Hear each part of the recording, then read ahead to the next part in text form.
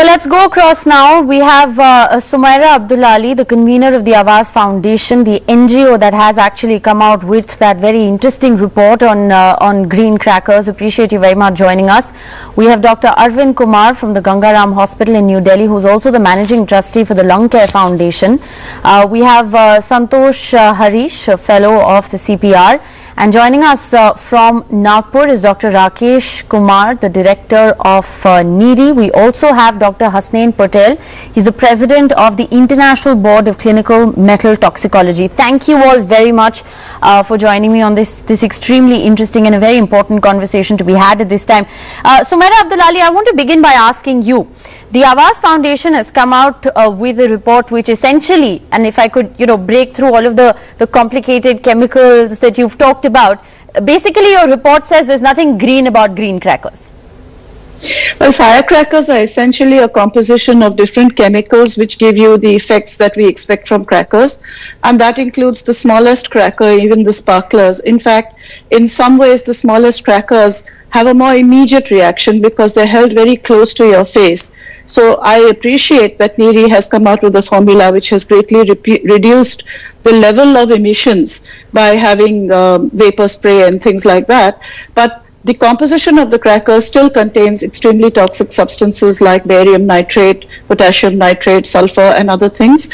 And however much you may reduce them, the fact remains that they are very much there, and they are there in, in particular firecrackers which we are encouraging children to use and yes. calling them safe.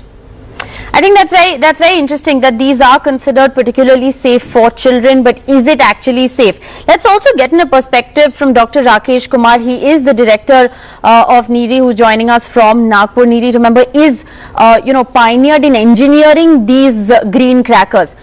So, Dr. Kumar, would you like to weigh in on this on this particular report, which essentially busts this whole concept of green firecrackers altogether?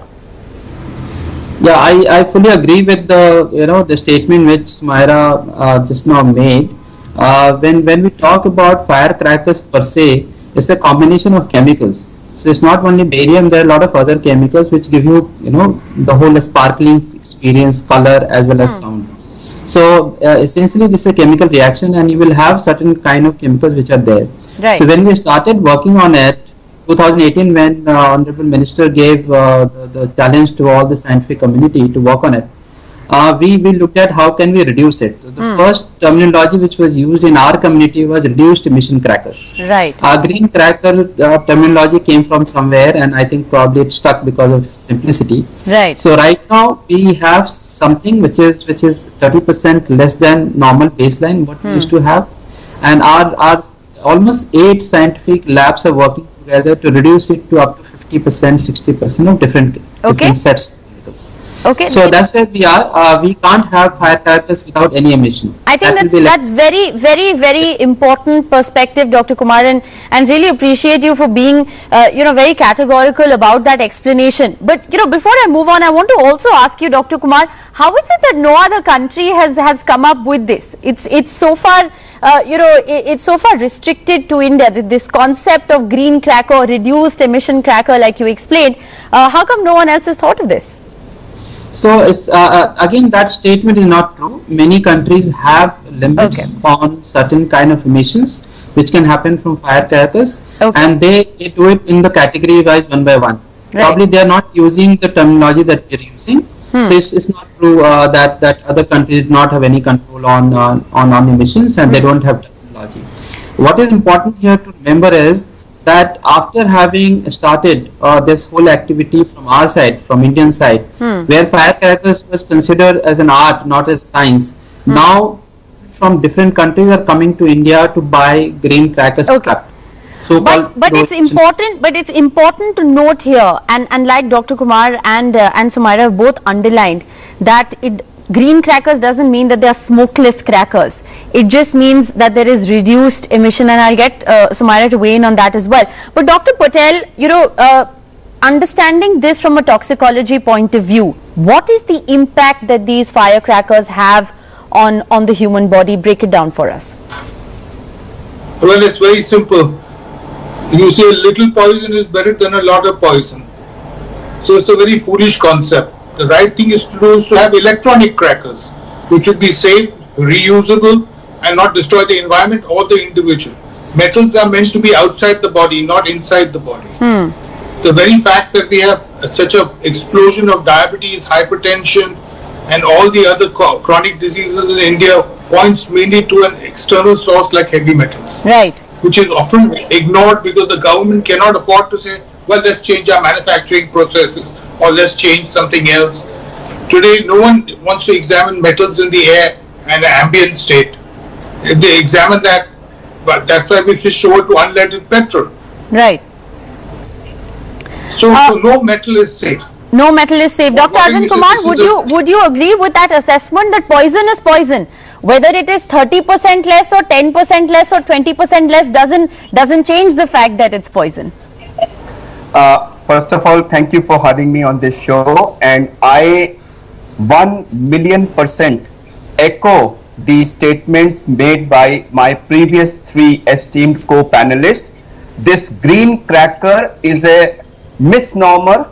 It's a fraud as far as the health angle is concerned. Right. By using the word green, we are misleading people. We are fooling people. Hmm. I want to say, give a simile. A fire is a fire is a fire. There cannot be a safe fire and an unsafe fire. Right. Similarly, a cracker is nothing but a mixture of poisonous chemicals and they are poisonous, they are poisonous. There's nothing green about it. Right. If the cracker has PM 2.5, we have done studies on all crackers and found the PM and other levels to be as much as 20 to 30,000 hmm. in the 1 meter periphery of the cracker where it's being burst. Hmm. Even if you reduce it by 30%, you are bringing it down from 20,000 to maybe 15,000 Yes. it's as deadly as it was before. So by using this, not using, misusing this hmm. word green, I think it's a I want fraud. to I We want to I want to then bring in Santosh Harish into the conversation. You know, why then is is green cracker being treated as some kind of a redemption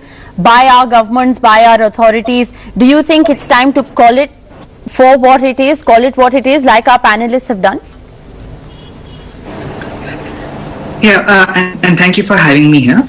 Um, no, I, I would agree. Uh, the, the the green crackers is uh, is a misnomer. Yes, it is. Uh, uh, it emits less than the traditional crackers do, but um, at the scale at which we burst these crackers, and and, and let's also consider um, the the impact on pollution, right? Uh, yes, the levels of uh, particulate matter um, spike from the already severe levels and this persists for a few days, but the specific substances that are emitted are especially toxic. Yes. Um, and and those bursting crackers living in neighborhoods where there's these are being burst with great vigor are exposed to it more directly. So in addition Yes. to the particulate matter, the specific substances I think are, are of note. Right. Um, we need to acknowledge the limits of technological innovation here ultimately. Crackers, green or otherwise, at the scale at which we burst on a single day, uh, are highly polluting, Right. um, are very harmful to vulnerable populations. Right. Public But- health con- uh, concerns trump everything else this year more than usual. Well, I think I think we've tried to explain, uh, you know, the green cracker phenomena,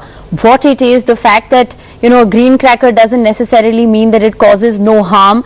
Uh, you've heard from uh, from the man who sort of you know is behind this entire green cracker movement uh, on what it really is. Call it for what it really is. But you know, I want to also understand from all our panelists what this means and why this is such an important conversation to have at the time of a raging pandemic. So we're going to slip into a very short break, but we'll talk about the phenomenon of firecrackers or green crackers, whichever you like, in the context of the COVID-19 pandemic on the other side of a very short break. Don't go anywhere.